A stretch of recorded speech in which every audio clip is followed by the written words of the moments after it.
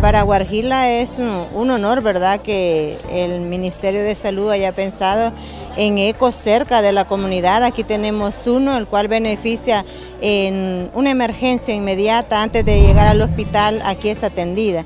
Nosotros nos sentimos satisfechas con los servicios que hay en las unidades de salud y especialmente en este eco especializado. Yo considero que en estas gestiones donde más medicina eh, ha habido y también donde todos los servicios han sido gratuitos y nadie ha pagado por nada.